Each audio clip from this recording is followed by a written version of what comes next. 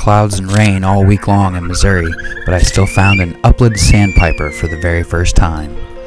Spring has brought babies, and we have these goslings. Hopefully, they don't get picked off by that Swainson's hawk.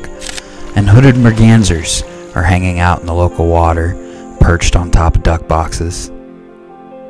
A lone cattle egret made an appearance, strutted for me.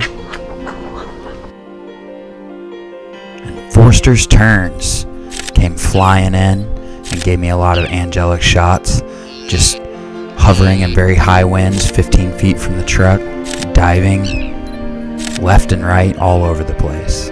Must have been 20 of them. Two wood duck drakes escort a hooded merganser like police across the body of water. And what video would be complete without a pied-billed grebe? Cloudy days are at least good for reflections on the water.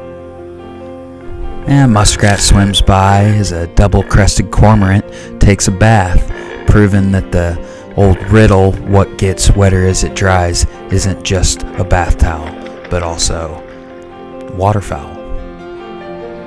And you want to talk about a challenging bird to get close to? I challenge you to try to get close to a cormorant. They take off at the drop of a hat. That was a swallow zooming by.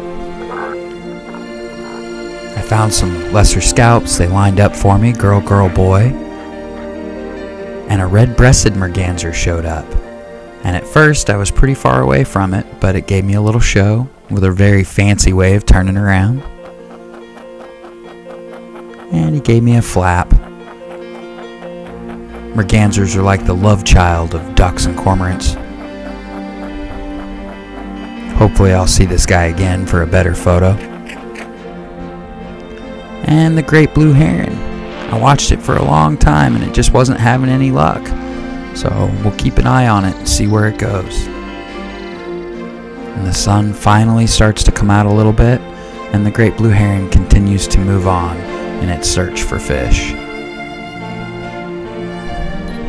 And the red breasted merganser came back in light, and I was able to get a couple of really good photos that show that beautiful red eye as he took a dive. And as the sun fully comes out, a bald eagle perched on a duck box dines on his latest catch.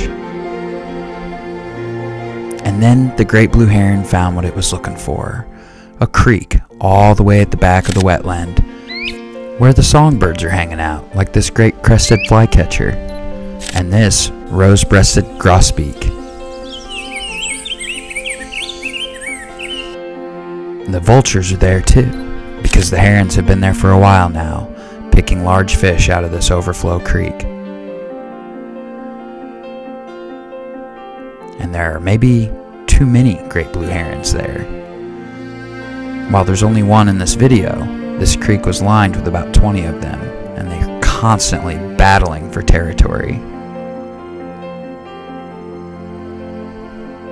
It got me to thinking, what kind of damage can a great blue heron do with that bill that spears fish like gar and carp with their hard, scaly exteriors? And the herons squabble for the best places along the creek.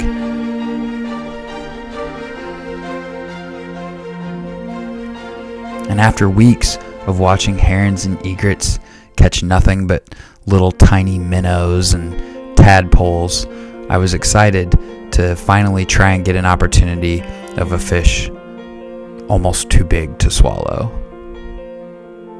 So I waited and watched. I'm tired of these egrets and their teeny tiny catches. And lo and behold, out came a monster fish, half size of the heron itself. It's really neat to watch these birds. They will eat fish this size, one bite, two or three times, and still be able to take off, even though their body weight must have doubled.